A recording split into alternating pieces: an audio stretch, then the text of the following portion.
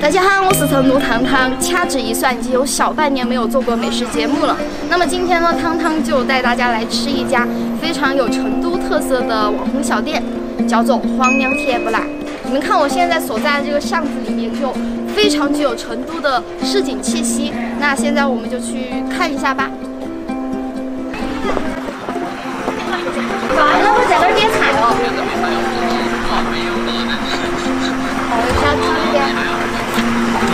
看现在十二点十二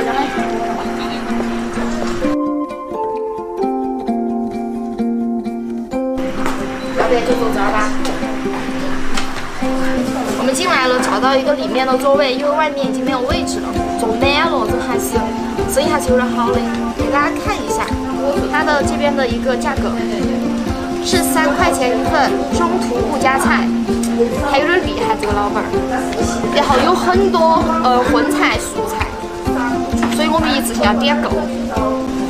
嗯，要个莲花白，要个莲花白。点了十菜，有三块钱的调料钱，所以应该就是六十六块钱。东西看怎么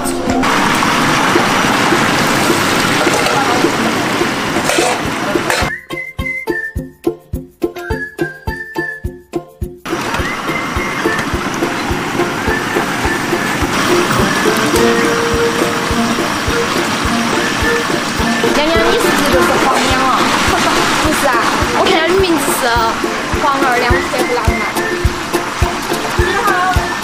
你好，我刚刚开店，不过他们厨房里面都有那么几个人，说明他们这生意确实还是有点好，挺忙的。那我们就坐等菜上来，来尝一下味道怎么样。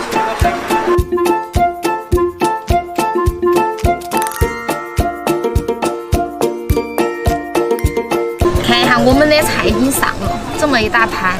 然后这么多呢，我是点了十个菜，六块钱一个，一共是六十块钱。但是我看他们都有蘸水，我去问一下老板儿，是我们自己打还是怎么样？好嘛，来嘛来嘛，我现在已经非常的迫不及待的想吃了。我不知道它这个调料应该就是海椒面加了什么油啊什么的，我也不清楚，就先尝一下才晓得。试一下它这个。原来甜不辣就像烧烤一样的感觉，名字取得甜不辣，是一坨那个凉粉。这个凉粉它外面那一层已经炸得非常非常的脆酥的，然后里面是很嫩的，真的就还是挺好吃的。这个蘸料里面确实有点甜味，而且我吃出来了那个花生碎的那个味道，挺香的。这个凉粉好吃。哎，我不得不说，这个凉粉真的太好吃了，我刚刚忍不住连续吃了四五坨。来尝一下其他的哈，吃下青菜的，我点了莲花白跟那个莴笋尖，看起来也不错。哇，你看这个海椒就跟不要钱的两个，不过很香，特别香。你们看，你不要看着它那么红，其实一点都不辣。再一点，虽然说老板态度不是特别好，但是呢，东西还是好吃。大家肯定想问，怪老头甜不辣和这个黄二娘甜不辣，到底哪家好吃点？我作为一个很公正的角度来说，这个黄二娘甜不辣味道要好一点。但是呢，那个怪老头呢，那个爷爷呢比较好耍，这个娘娘呢比较高冷。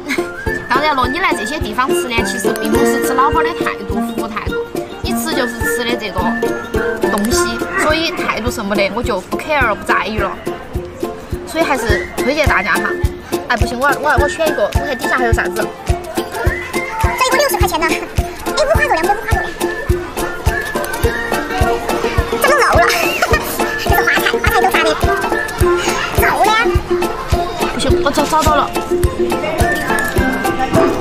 它不是五花肉嘛，纯瘦肉的嘛，肉还是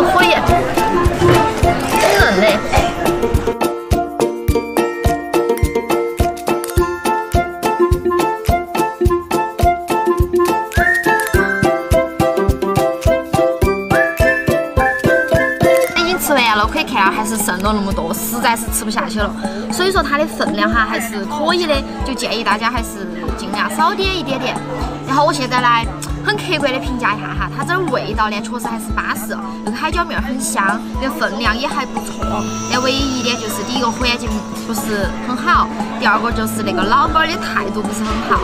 但是如果说你不在意那两点的话，那么在这儿吃呢还是不错的。其实哈，像这种类似于川味烧烤类的，你时不时的来吃一回还是不错天天吃的也遭不住所以呃外地朋友想来成都打卡的也可以来尝一尝这边成都本地的呃味道。